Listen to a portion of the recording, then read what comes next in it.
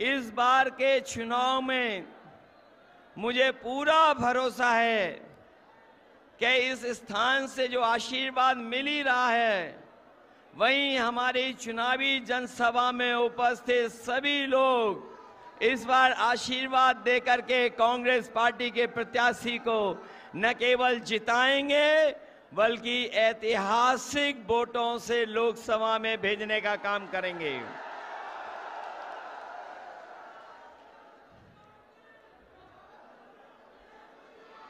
मैं देख रहा हूँ कि जब से इंडिया गठबंधन के प्रत्याशी यहाँ चुनाव मैदान में आ गए हैं, तब से भाजपा ने अपनी पोटली अमेठी से बाँध ली है।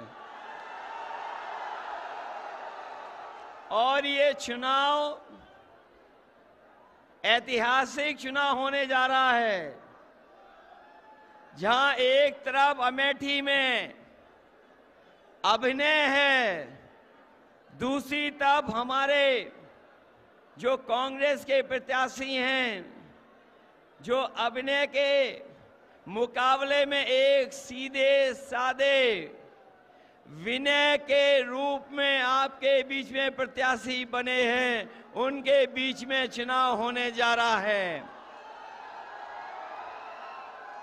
और ये ऐसे व्यक्तित्व के और ऐसे व्यक्ति रहे जिन्होंने अपना पूरा जीवन आपको अपनेपन के भाव से जीत करके आपके साथ हमेशा हमेशा रहे हैं।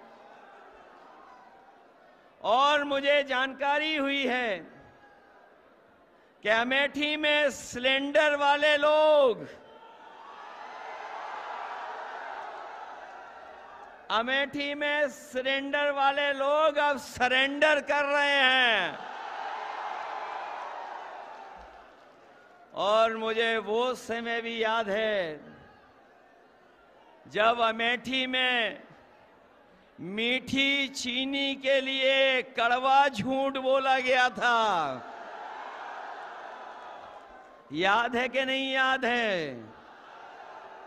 मीठी चीनी के लिए कड़वा झूठ बोला गया था। और ये कड़वा झूठ बोलने वालों ने, क्या आपको तेरह रुपए किलो चीनी दी है क्या?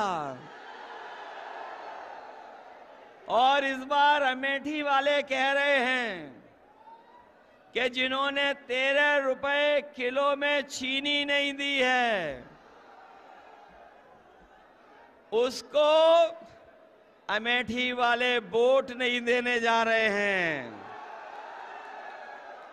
वो हमेशा हमेशा के लिए स्मृति हो जाएँगी।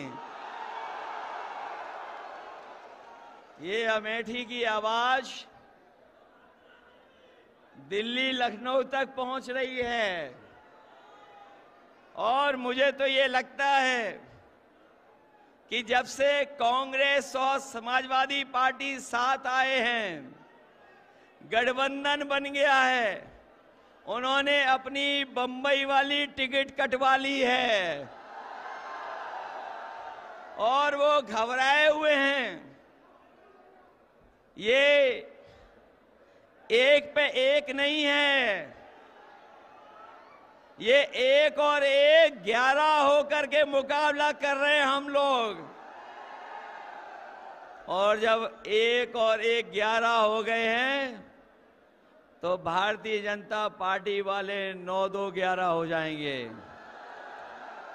बताओ, नौ दो ग्यारह हो रहे हैं कि नहीं हो रहे हैं? और इन बीजेपी वालों की हर बात झूठी निकली कि नहीं निकली? इनके वादे झूठे थे कि नहीं थे? ये वही भारतीय जनता पार्टी के लोग हैं। याद करना किसान भाइयों, आपको अपने हक, अपनी पैदावार की कीमत के लिए आपको दिल्ली तक में जाकर के धरना देना पड़ा था। किसानों को उन्हें तकलीफ़ पहुँचाने के लिए इन्होंने सड़कों को बंद कर दिया था। सड़कों पे कीलें लगवा दी थी। ट्रैक्टर को, गाड़ियों को डीजल, पेट्रोल नहीं भरने देते थे। लेकिन हम अपने किसानों को बधाई देंगे कि उन्होंने परवाह नहीं की और दिल्ली जाकर के दिल्ली घेर लिया। और तब तक बैठे रहे जब तक काले कानून वापस नहीं हो गए। ये काले कानून के बहाने हमारे किसानों की पैदावार को लूटना चाहते थे, उनकी ज़मीन को कब्जा करना चाहते थे। ये काले कानून तो चले गए हैं, लेकिन अभी हमारे किसानों को जो उनका हक, जो अधिकार मिलना चाहिए था, वो सरकार ने नहीं दिया है। इस बार इंडिया गठबंधन और समाजवादी पार्टी ने तय किया है कि 4 जून के बाद जब सरकार बनेगी तो अपने किसानों को एमएसपी का कानूनी अधिकार दिला करके किसानों को खुशहाल बनाने का काम करेंगे। न केवल खुशहाल बनाएँगे उन्हें, बल्कि उनकी पैदावार से लेकर के अगर हमें किसी भी तरह की उनकी मदद करनी पड़ेगी तो इंडिया गठबंधन और समाजवादी पार्टी और कांग्रेस पार्टी मिलकर के अपने किसानों को सम्मान दिलाने का काम करेंगे। ये नौजवान अभी भूले नहीं है पेपर लीक। क्या आप लोग पेपर लीक भूल गए? कोई परीक्षा इस सरकार में हुई? सब परीक्षाएँ रद्द हो गई। और लीक के बाद लीक हुए पेपर। सब पेपर लीक करा दिए। कोई एक पेपर लीक नहीं कराया, दस से ज़्यादा पेपर लीक कराए। और ये paper leak Bharatiya Janata party ने जानबूझ के कराए। और इसलिए कराए कि उन्हें नौकरी न देनी पड़ जाए। मैं नौजवानों से कह करके जा रहा हूँ, ये केवल आपके नौकरियों से खिलवाड़ नहीं किए इन्होंने। इन्होंने आपके भविष्य और एक तिहाई जीवन से खिलवाड़ की है। इसलिए जहाँ किसान तैयार है, वहीं हमारा नौजवान भी तैयार है।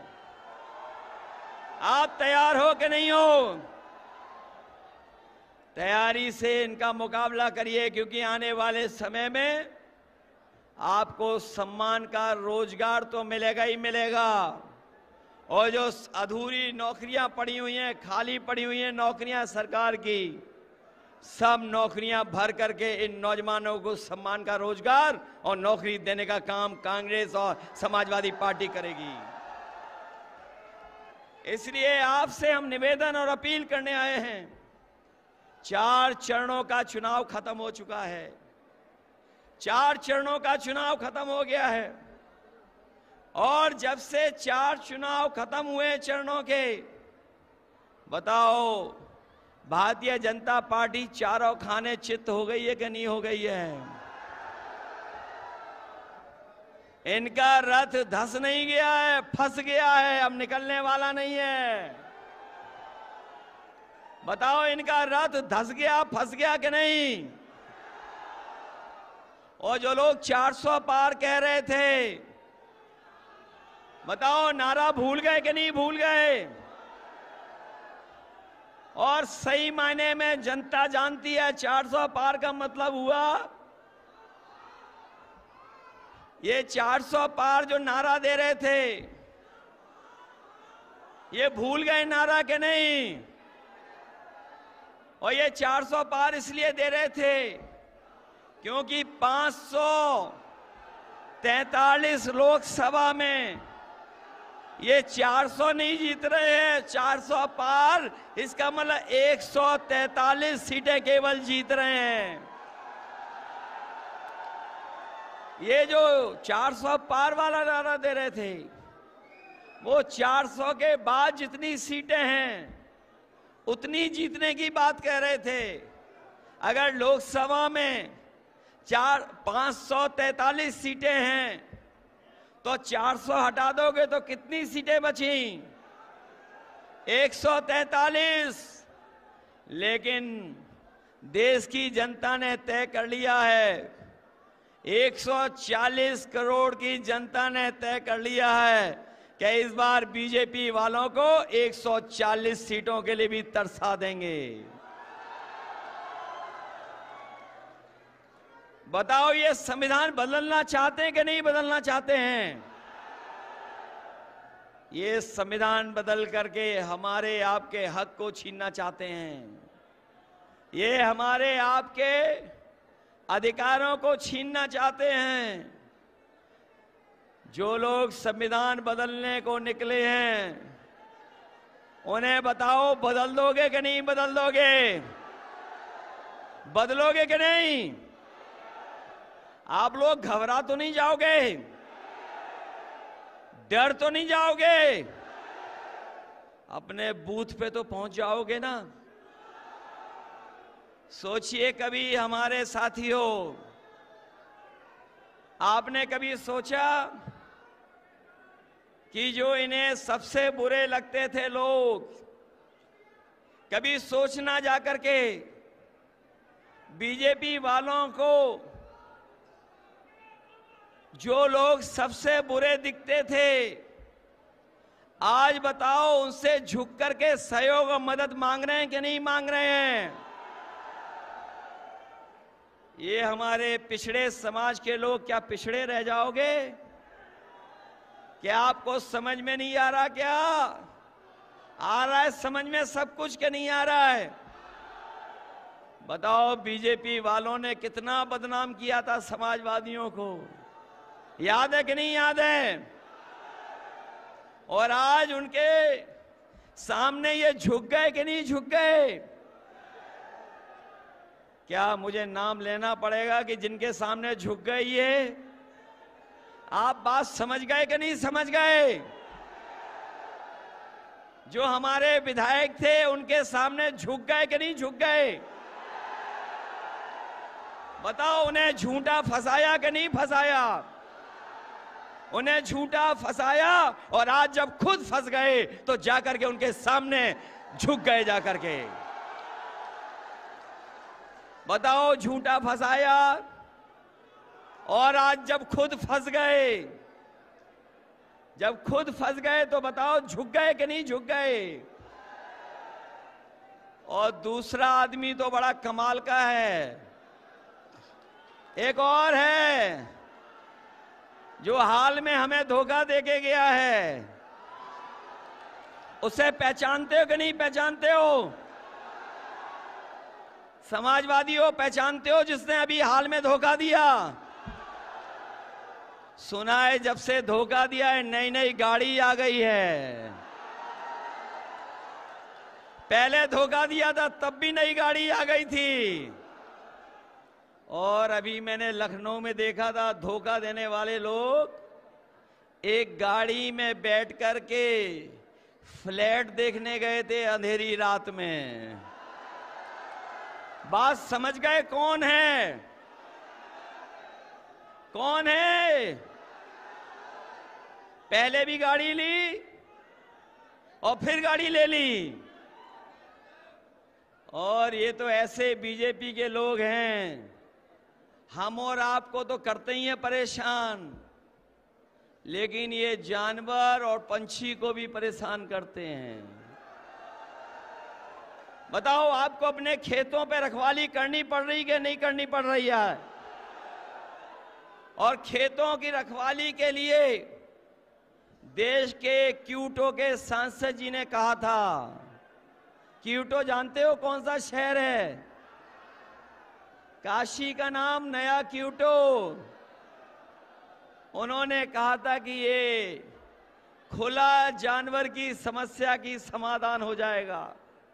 बताओ, हर दिन जान जा रही कि नहीं जा रही है? न केवल जान जा रही है, बल्कि हमारे किसानों को अपने खेतों की रखवाली करनी पड़ रही है। रखवाली करनी पड़ रही कि नहीं पड़ रही? और एक हमारे साथी ने सारस से दोस्ती कर ली थी।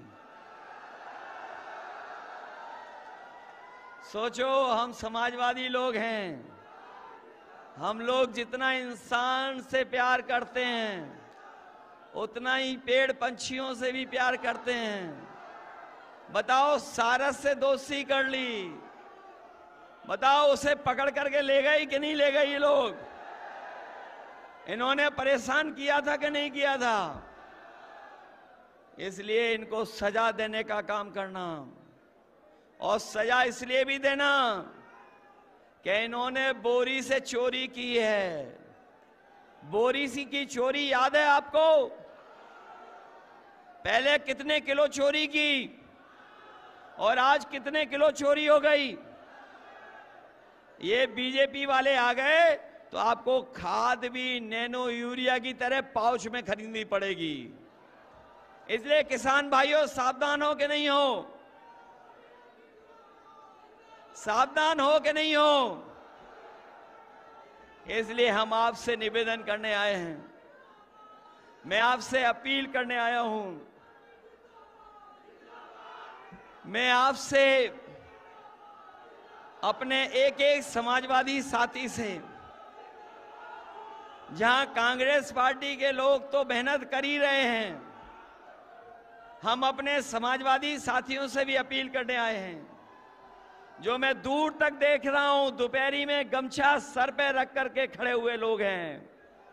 मैं निवेदन करना चाहता हूँ सबसे, इस बार कांग्रेस पार्टी के प्रत्याशी को जिताओगे?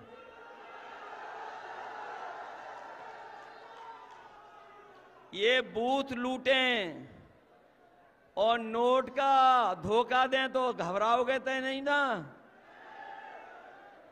इस बार सिलेंडर वाले भाग रहे हैं कि नहीं भाग रहे हैं? और जो झूठ बोल करके आपको जा रहे हैं, उन्हें विदा कर दोगे कि नहीं कर दोगे? इसलिए अपने सभी समाजवादी साथियों से मैं अपील करना चाहता हूँ। कि ये चुनाव देश के भविष्य का चुनाव है। हमारे आपके भविष्य का तो है ही है। आने वाली पीढ़ी के भविष्य का चुनाव भी है। संविधान को बचाने का चुनाव है, लोकतंत्र को बचाने का चुनाव है। अपने किसान, माताएँ, बहनें, नौजवानों को सम्मान दिलाने का चुनाव है। इसमें आप लोग मदद करना। मदद करोगे सब लोग। ये मान लू कि के एल शर्मा जी वोटों से जीत के जा रहे हैं, लाखों वोटों से। जीतेंगे। महँगाई याद रखोगे। खाद की, बोरी की, चोरी याद रखोगे। बताओ आपकी मोटरसाइकिल कितनी महँगी हो गई है? पहले कितने की आती थी मोटरसाइकिल?